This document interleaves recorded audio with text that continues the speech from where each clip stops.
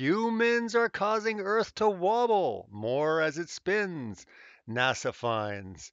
Okay, here we go. Another article pushing global warming, climate change. Again, we got to get into humans are causing more and more problems with the Earth. When is it ever going to end? Let's get into it right after this.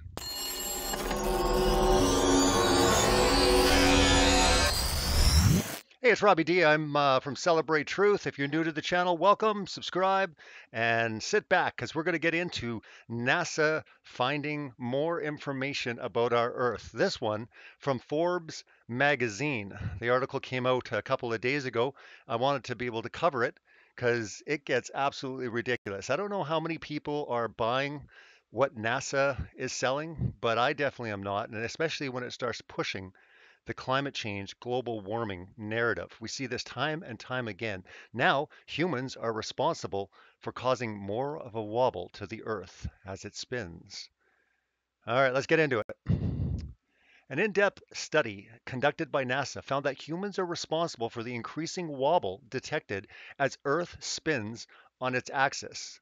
I should put an LOL behind that sentence just because it's so laughable.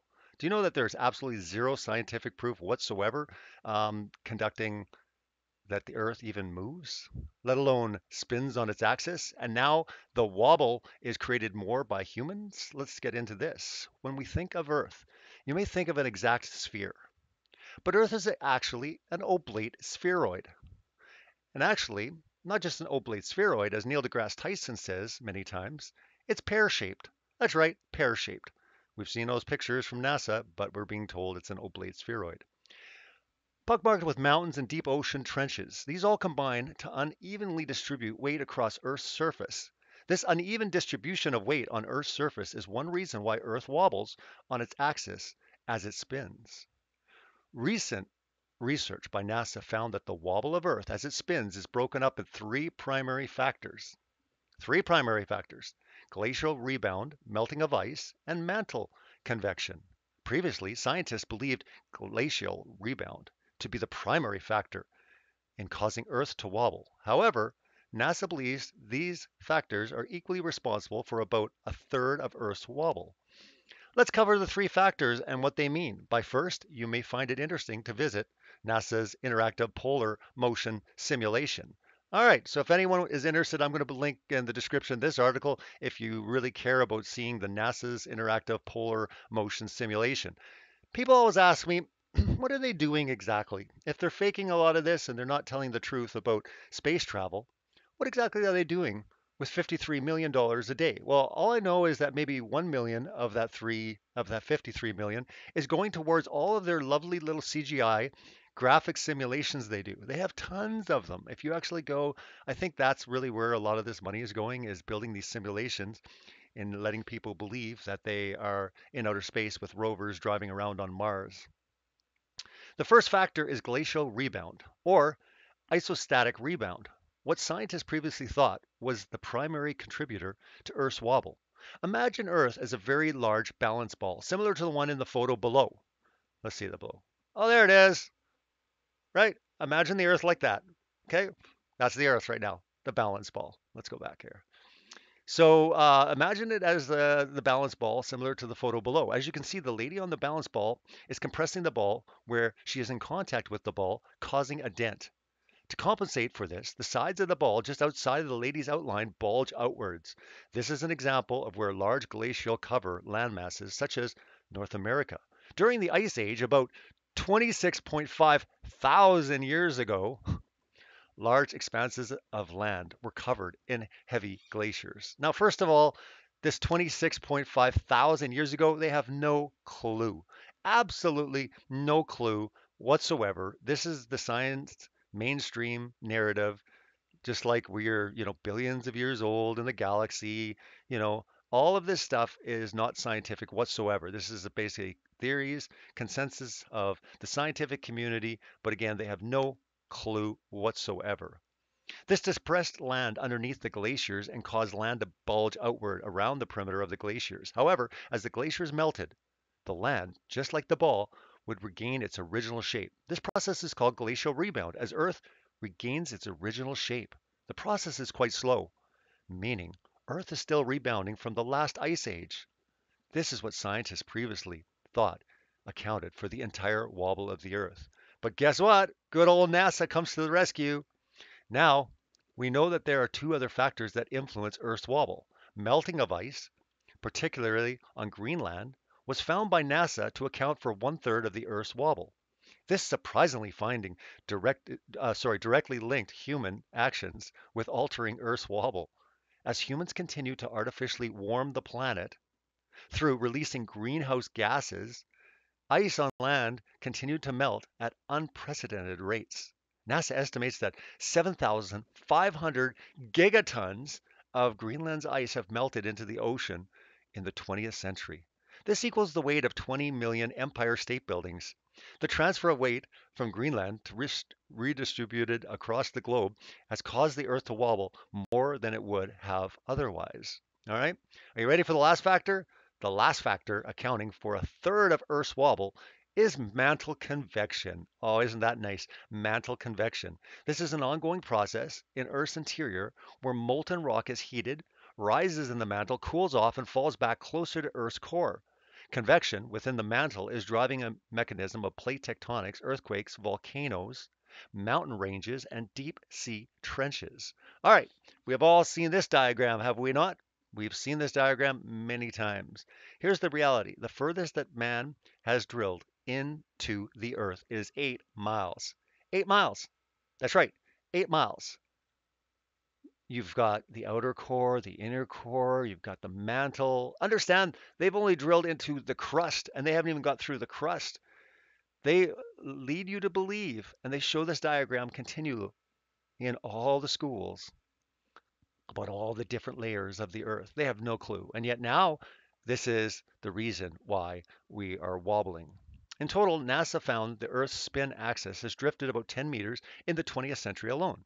As ice continues to melt from continental masses such as Greenland, we will continue to see increased wobble as Earth spins.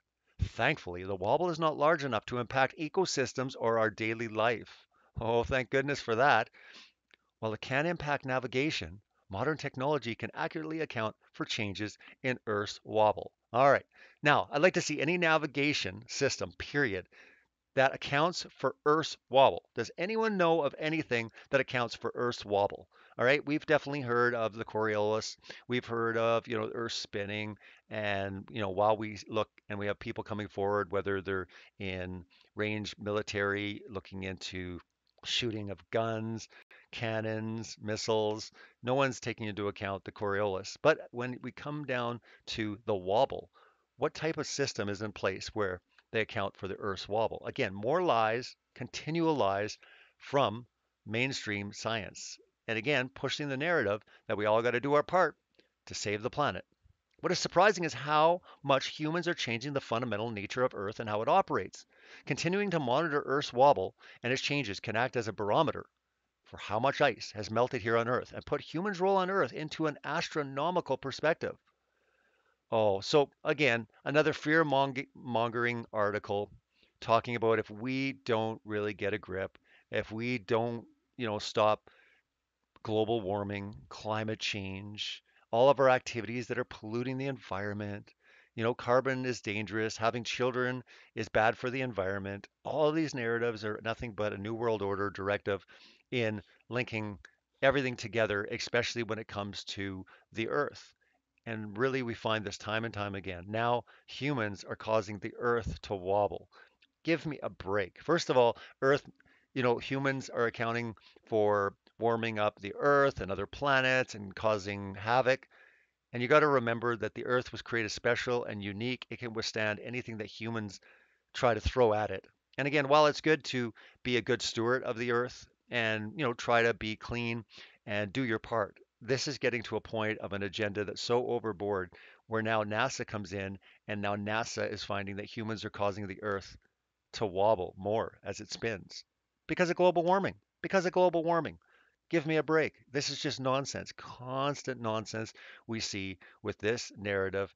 And to me, I just had to do a quick video on it because, again, this is Forbes. These are other publications that are pushing this narrative based on we've got to do our part because the earth is going to be in big jeopardy if we don't all band together in unity and do something. Again, nonstop lies from the global lie to the axial lie to the spinning lie to the spinning ball flying through space lie that many of us have already done amazing amounts of research and so many people are doing great work on this topic. You need to look into it. You need to find out that this is an agenda on so many different levels, not just to prepare us for what's coming, but also pushing mainstream agendas like climate change, getting on board. You know, everyone's got to do their part. All the countries of the world, we band together. We're going to save the planet.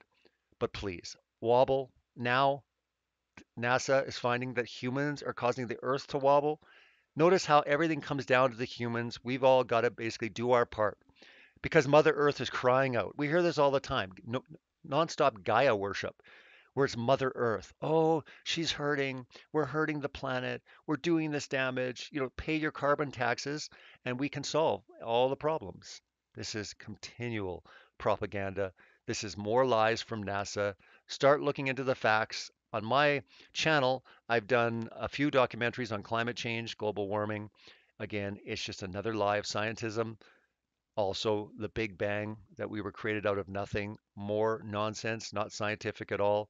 Getting into evolution, getting into all the areas that science likes to push in the mainstream media, whether it's Bill Nye or Neil deGrasse Tyson or Brian Cox. You got all these characters that come forward showcasing and making cool science is cool. And now we got Elon Musk making space travel cool, putting cars out in space and people believing that nonsense more and more stuff is basically coming together. We're starting to see, we're starting to connect the dots in what's really going on in this world. This is just one example where NASA is coming in, not just with space travel and you know lying to us about rovers on Mars, but also pushing the narrative that we all have to pay our carbon tax.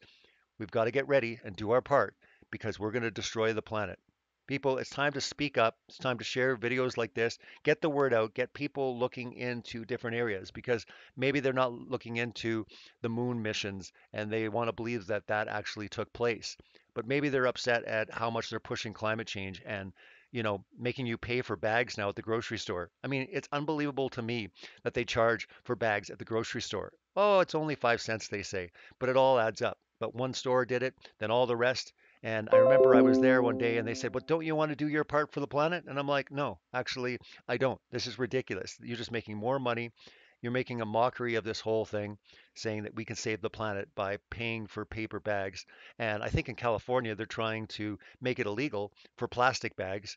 Again, this entire worship of Gaia, Mother Earth, and we need to save the planet and all these methods, especially paying carbon tax. In my country of Canada, I have no choice, but I have to pay carbon tax.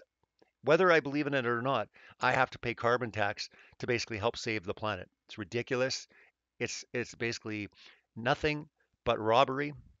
If you understand where the money's going, it's not solving anything. Everything is basically staying the same way. Weather will continually change in time. Weather patterns always change throughout history. Nothing is new under the sun, just like Ecclesiastes says in the Bible. It's all there. It's been there all along. And if you want to know the truth, you just need to look to the one that claimed to be the truth. So we'll leave it at that. Again, I want to do a quick video on more nonsense from NASA, now saying that we're the cause of Earth wobbling more.